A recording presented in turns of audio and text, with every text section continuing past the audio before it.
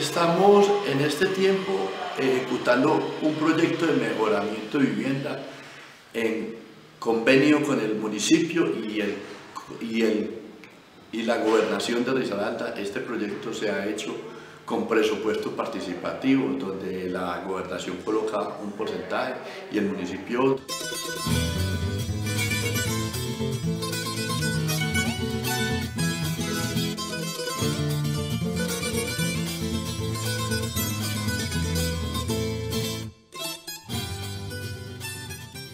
Ejecutando alrededor de 400 millones de pesos eh, y tratamos de ser lo más equitativo posible con las veredas y barrios de nuestro municipio, lógicamente teniendo en cuenta la gente que más necesita, ya es donde estamos llegando, también la gobernación de Risaralda a través de la promotora de vivienda también está ejecutando otra cantidad importante de mejoramientos de vivienda.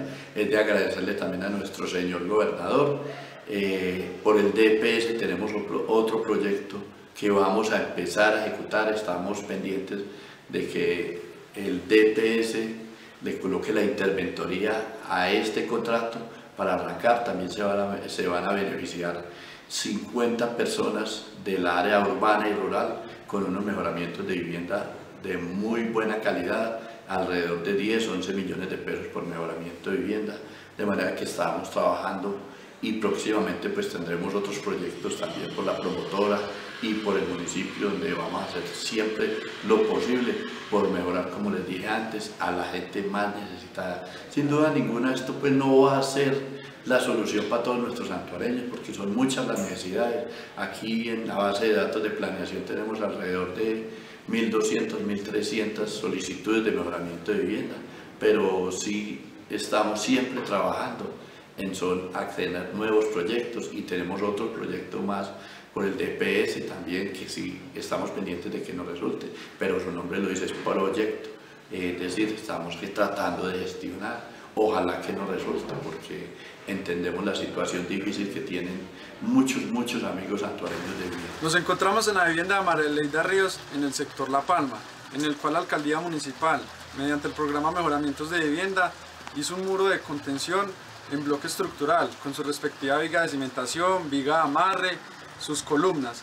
El muro se hizo debido a que la casa en la parte posterior contaba con un barranco. Este barranco presentaba deslizamientos por las constantes lluvias y representaba un peligro para, para, la, para la, familia que, que, vivía acá. El muro se hizo con el fin de, de evitar que, este, que este, estos deslizamientos cada vez afectaran más, más a la vivienda se construyó el muro y en la parte pues, posterior se, se, recogieron, se canalizaron las aguas lluvias y se sacaron al sistema de alcantarillado. Doña María Luisa Montoya tenía un baño en malas condiciones, era un baño pequeño, tenía un lavadero que ya era muy viejo. Lo que se hizo fue demoler todo el baño y se demolió el lavadero. Se hizo un baño totalmente nuevo, ampliándolo para que, para que fuera más, más cómodo su uso y se instaló un lavadero prefabricado. Cuando llegamos a la casa de don Conrado, nos encontramos un techo, un techo en pésimas condiciones. La madera estaba, estaba toda, totalmente podrida, eh, las tejas en pésimas condiciones igualmente. Lo que hicimos fue reemplazar la estructura y cambiar la teja, la teja que se conoce como teja de barro y le pusimos teja nueva de fibrocemento. Yo me llamo Conrado Álvarez. Muchas gracias, señor alcalde, por la la que me hicieron aquí en el techo la casa y el, y el cielo raso. Vale, muchas gracias. Mi nombre es Ana Delia Sepúlveda. Mm, estoy muy agradecida con el señor alcalde porque yo tenía mis piecitas muy caídas, dos habitaciones, muy caídas, sin pisos, sin encielados, no, estábamos, era muy mal de habitaciones ya y estoy muy contenta porque ya me organizaron las dos habitaciones, me quedaron muy buenas, muchísimas miles de gracias al señor alcalde, que Dios le pague por este, por este regalo tan grande que me dio. Estamos en la vereda Peralonso y yo quiero contarles que me hicieron un mejoramiento de vivienda, un techo muy hermoso, gracias a todos los que tuvieron que ver con este trabajo. Eh, todos, la verdad es que me quedó excelentemente. Dios les pague a todos ustedes. Sí, muchas gracias al alcalde y a todos los que tuvieron que ver, todos los que tuvieron que ver con este trabajo. Dios los bendiga. Muchas gracias por todo. Buenas tardes, mi nombre es Julián Rojas. Eh, soy habitante de la vereda Playa Rica. ¿Qué le hicieron acá como mejoramiento de vivienda, Julián? Aquí el mejoramiento de vivienda me construyeron la cocina y me construyeron la mitad del techo de mi casa. Y pues de antemano quiero dar muchas gracias al señor alcalde porque pues por medio de él fue que se gestionó esto. Después de varias visitas y reuniones, pues gracias a Dios se pudo culminar.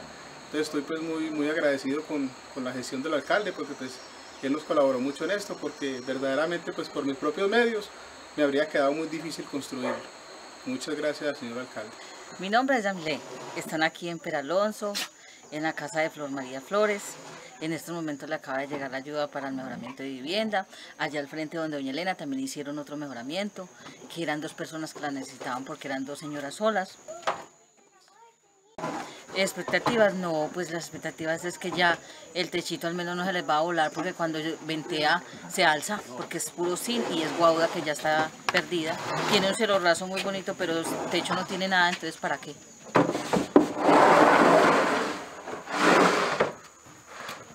Bueno, nos encontramos haciendo un recorrido por los mejoramientos de vivienda que se han hecho hasta el momento. Alrededor de unos 43, 44 ya terminados y otros que están también en el momento en ejecución.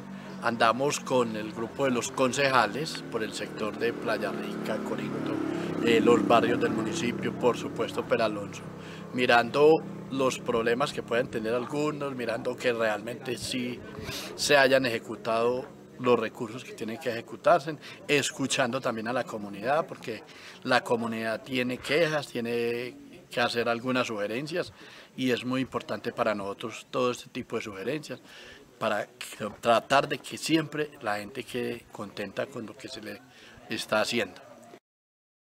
Eh, bueno, eh, yo creo que hay algunos mejoramientos de vivienda que tienen unos problemitas que por supuesto vamos a llamar al ingeniero contratista para que los corrija, pero la gran mayoría están bien y la gente está conforme con ellos y la idea es que esos pequeños errores que hay eh, los corrijan y queden la gente completamente satisfechos. en el momento se están ejecutando alrededor de 25 30 mejoramientos de vivienda por la promotora de vivienda del departamento. Nuestro señor gobernador está ejecutando ya alrededor de 20. De este proyecto de presupuesto participativo a nosotros nos da para ejecutar alrededor de 60, que los vamos a terminar más o menos en 20 días, un mes. Y por supuesto estamos esperando también el del DPS, que también es alrededor de 35 mejoramientos de vivienda. Ellos ya tienen los datos, ya la gente sabe quiénes son los escogidos, pero estamos esperando que el gobierno nacional, que el DPS, coloque la interventoría de la obra para que se empiece a ejecutar esta obra. Yo pienso que no es suficiente, yo pienso que hay mucha falta de mejoramientos en nuestro municipio. Andando por todas estas veredas vemos que hay mucha necesidad, que se necesitan muchas, muchos más mejoramientos de vivienda. Vamos a tratar de seguir tallando, tallando a nuestro gobernador, al gobierno nacional. Por ahí tengo otro proyecto presentado también en el DPS, que desafortunadamente no salió, pero ahí tenemos los senadores, los representantes a la Cámara, de los, de los concejales, los de nosotros, eh, tratando de que ellos procuren conseguirnos estos proyectos y consigan más para el municipio. Yo pienso que no va a ser, si conseguimos 500 mil, no va a ser necesario porque es mucha la necesidad de vivienda y de mejoras de vivienda en nuestro municipio, pero sí, satisfecho con lo que hemos hecho y vamos a tratar siempre de mejorar todos los días y tratar de hacer gestión para que resulten más. A ver, yo pienso que la gente se siente contenta y se siente muy contenta también con el grupo de concejales porque pues la verdad esto lo hemos hecho con ellos y queremos que, que siempre, siempre eh, la gente, socializar todo lo que se haga en nuestro municipio. El objetivo es que la gente quede contenta, el objetivo no es hacer las cosas como nosotros queramos, sino como la gente lo necesite.